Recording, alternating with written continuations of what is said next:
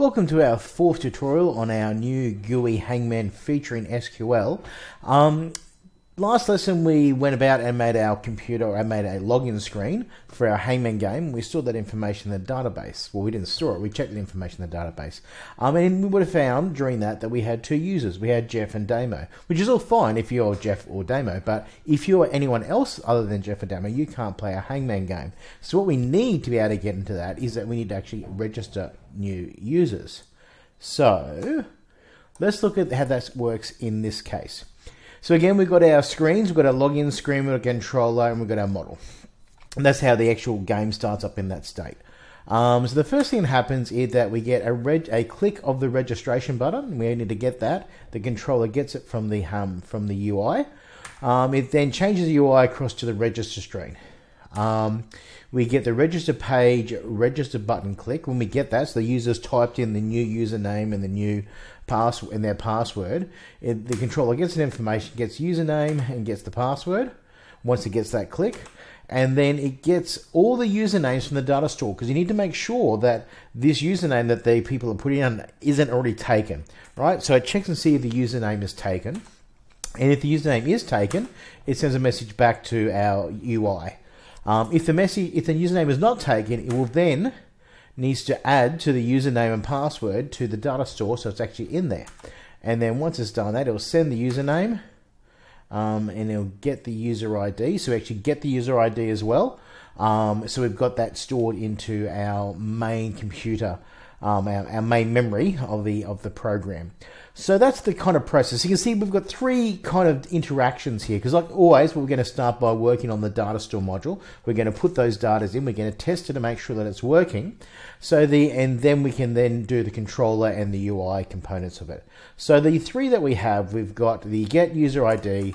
We have got the adding the username and credential, adding the credentials to the data store, and finally we've got getting a list of all usernames. Now, we already have the get user ID. We've made that in the last video. Um, so we really just need to focus on our get all usernames and our add credentials methods. So let's start looking at that in code. So once again, I'm in my data store here, and we're going to start with the get all usernames. So I'm still in my get section. You'll see get results. So sorry, um, get methods here. So I'm still in the get section. I'm going to come down and I'm going to make sure I have two gaps after, two spaces after, or lines after the last method. And I'm going to define my new method, which is get all usernames. Okay, I'm going to open that. I'm going to define it with self. Okay, so this because it's get all usernames from this data store, and of course, um, I don't need anything else, and I'm not going to pass any arguments in because I'm just finding everything from the database. So, but I am returning a value. So remember our type hints. I'm going to say, yep, here is it's going to return, and what it's going to return is a list of strings. Okay, that's how we say a list of strings in our land of data types. So it tells us that it's going to return a list of strings. Um, and let me say our doc string explaining what the document actually is. It returns a uh, list of all um, current usernames. Yep, I think that works. So we've done that. We've got the our docstring explaining it. Now remember, this is an SQL query, okay? So always with the SQL queries, we do two parts with it. And the first part is we're going to execute that query. So I use a cursor to execute. So let's call the cursor up, and I'm going to use the execute method on it. Open the brackets, I'll put an enter in, and then I open the multi-line string with um, three inverted commas so I can write my SQL query. And my SQL query is quite simple. It just says select um, name from users. Okay, I'm going to come over and check my data store again. So I come over here, oh, no, that one, data store. I'm going to open the database. I'm going to have a look in here and users and name.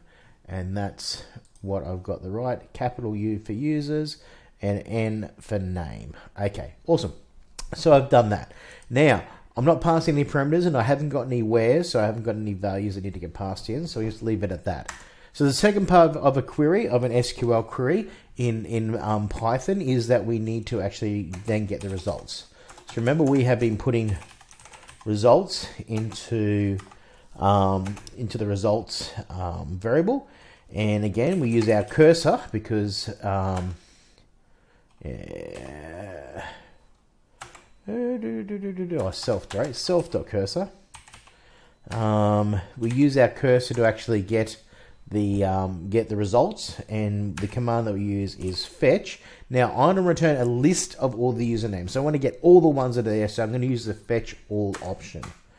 So remember, this is the cursor, which is what we use to access and and work with the database. And we take all information, we're putting it into results, and as we have done previously, we're going to return those results so I can actually run it in Pi, um, sorry, in test, and see what it actually produces. So let's look at test, and I'm now going to change this across to um, and db.get uh, all usernames, put that in, and look in here, it's going to tell me again that, yep, I return a string, it popped up there. All right, so let's run that and have a look. And it's producing, was giving me a list, but it's giving me a list of tuples. Okay, this is pretty similar to the kind of stuff we dealt with when talking about a list of words. No, we weren't returning the words. Okay, so okay, left list of tuples is what it's returning. So we don't want that. We we only want to say Jeff and we want to say Damo in in a list. So let's come back and how can we change our results? Okay, so we need to process the list, list of tuples which is currently in the results variable. So I'm going to say this. I'm going to say um, for value in re, um, results. Yep, for the values and the results. So each long each value of the, of the results. I'm um, sorry, and I'm gonna put user and empty list up here. It's a little bit over the place. Equals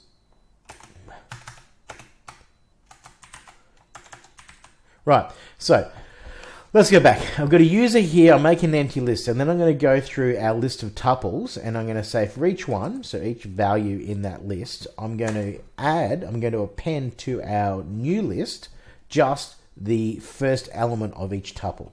So I say um,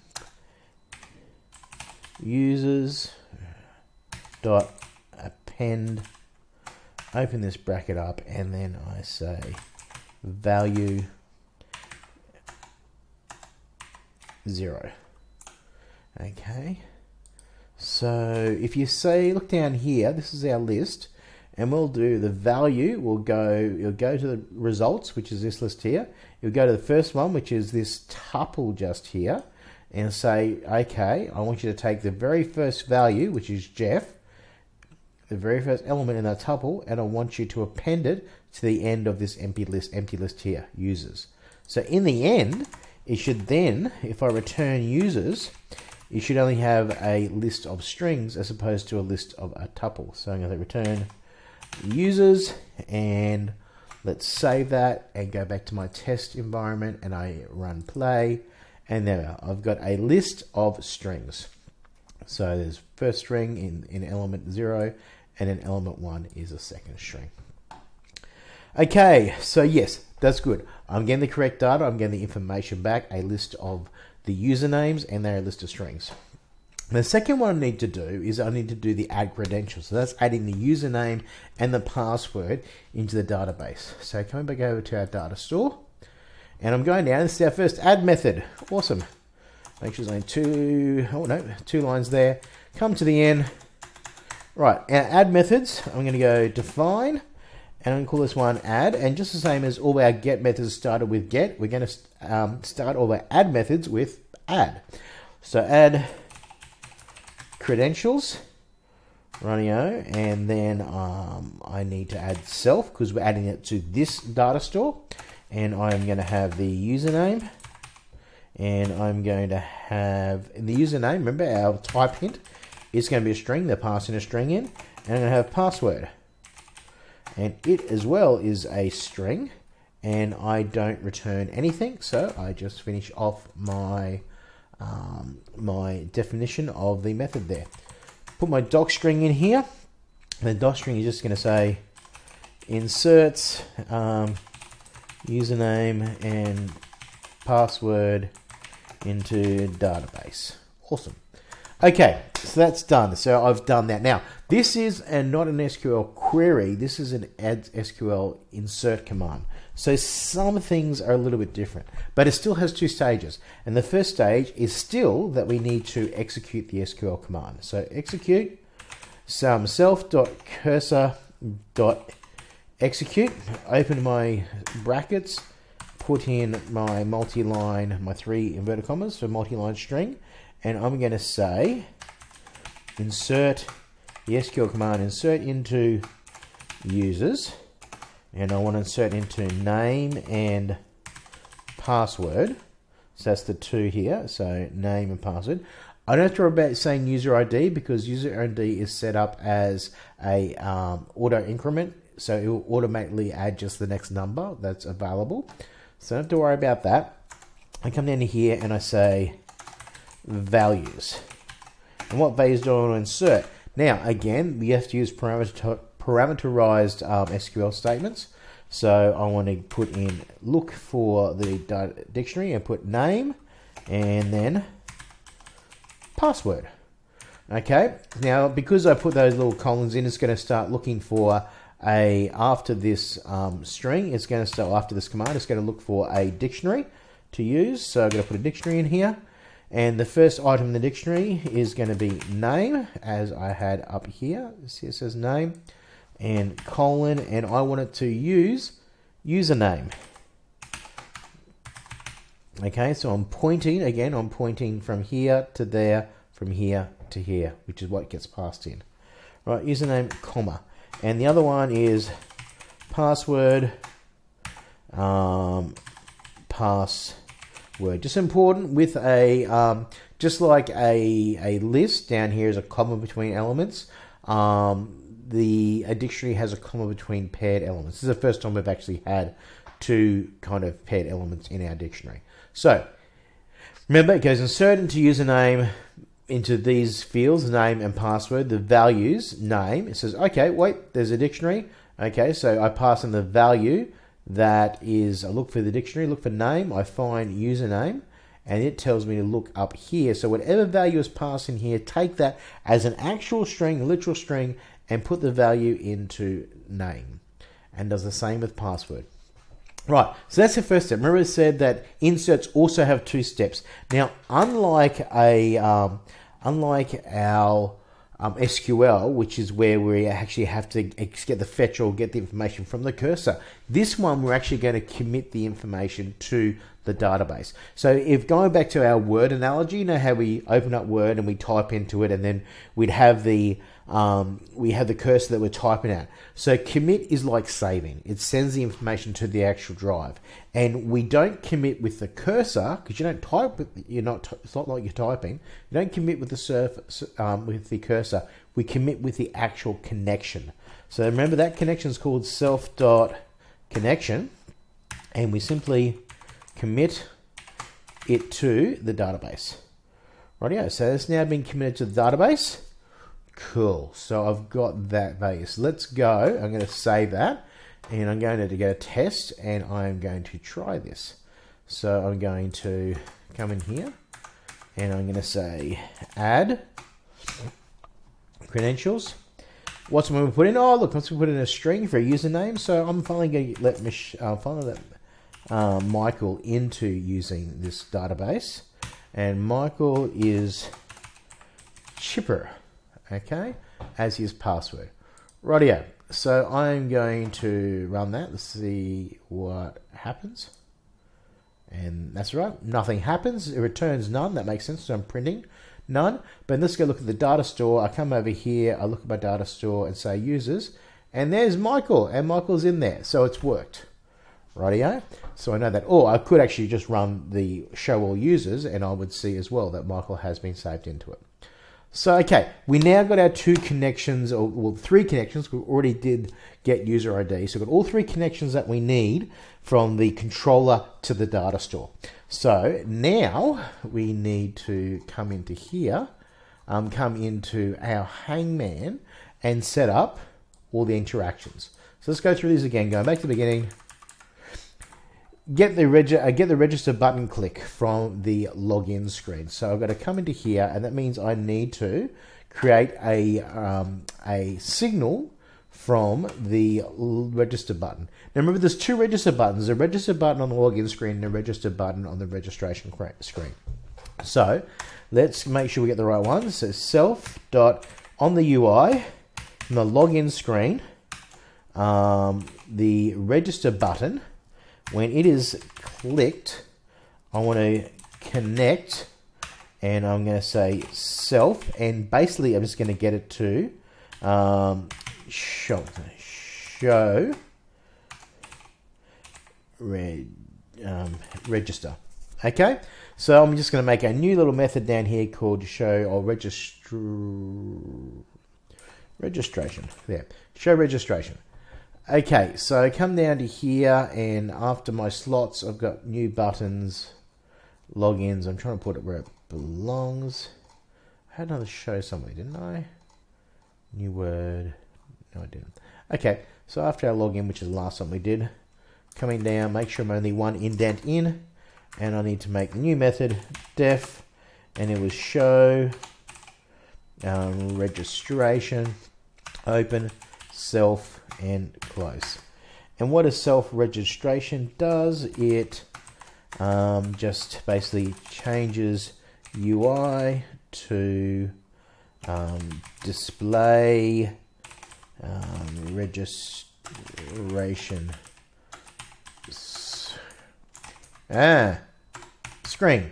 Okay so let's see what we have to do with that. It's quite simple. We go self.ui stacked widget dot set. Um, current widget and we want to set it to um, to the self dot UI dot um, oh sorry they shouldn't have a dot in there. Get rid of that. That's why it's unhappy. self dot UI dot registration see I, I didn't get my pop-up here so I knew that something was wrong with my actual code that's just a little nice little habit to get into registration page and that's going to be displayed okay so let's just save that and actually just run that now and see if it does uh, show because I misspelled registration. Let's just copy that and go up here to my signal and try putting that in. That's better. Save it and run it. Okay, so I've got the login screen, which is cool. And now if I click on register, it takes me to the register, register screen. So that does what I wanted to do. That's fantastic. Now I'm in the register screen. Actually, let's have a look at that again. Now I'm in the register, register screen. I want to put those values in. And then when I click this button, which is the register screen on the red, the register button on the register screen, when I click that in, that's when all the magic happens and it takes all the actions. So I need to again change another signal. I'm up at my signals, which is great. So again, self dot um, UI dot uh, it's and the register the registration screen I want the registration button there it is when it is clicked I want to connect to um, self dot and I'm going to call this one register user, which again is a method that we haven't made. Made the signal. I'm going to come down to here and into my into my slots. So you see my slots section. Come down to here and say right. Again, one, two lines underneath it. Define, and it was register user. Right, self because I'm still doing it in this particular game. So this particular method. And what does it do? Put our doc string in, it adds the user to the database if name is available.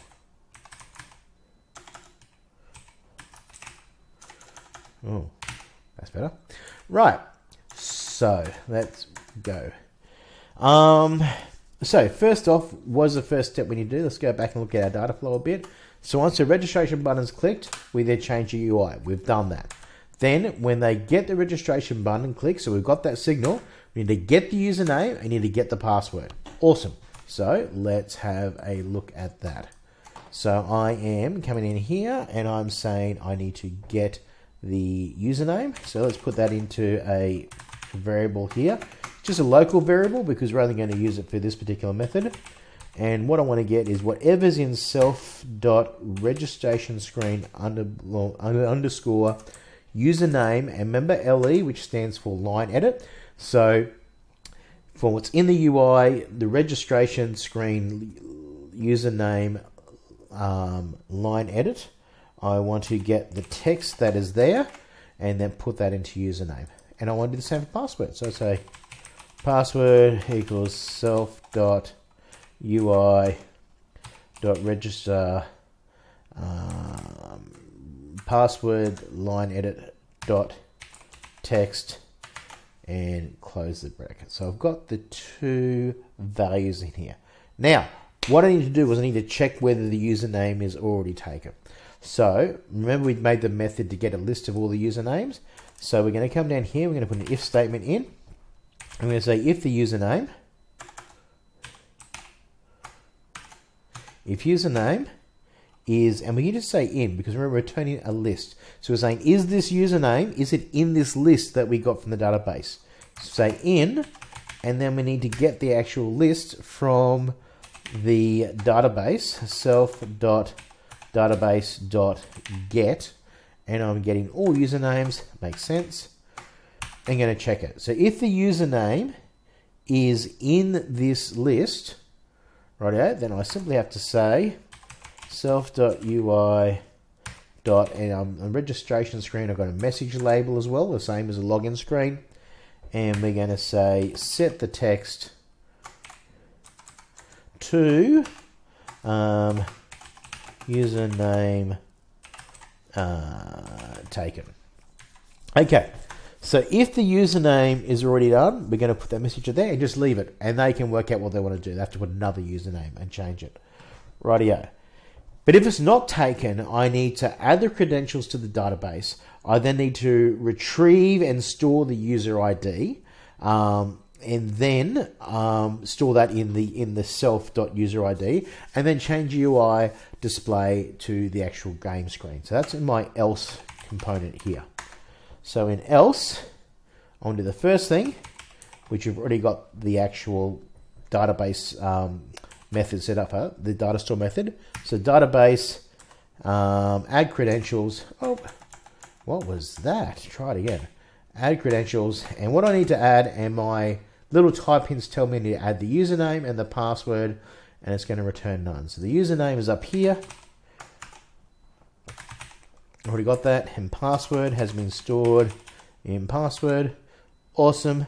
So I've done both of those. Password is stored in password. And then after done that, I've got to retrieve, then store the user ID into self.user ID so we can use it later on in the program. So I say self dot um, user ID equals self dot from the database. I want you to get um, our um, user ID. So you see when you actually start using the the correct um, naming convention, it kind of makes it flow, the programming you're supposed to do. So from the DB, from the database, you need to get the user ID. It just intuitively helps you along what you need to do. So I'm getting the user database, and what am I actually sending in? I need to send in the user and the string, and our user is username up here. So user name, and it's a string, and that's going to return the value of an integer and put it into here. Fantastic. Okay, and then the last thing I need to do is I need to then change the screen self.ui change it the stacked widget concept and change it across to set current widget to um, the self.ui.game page. Done. Right, so hopefully that's worked. Let's have a look. Press play in here. Don't want to log in, I need to register.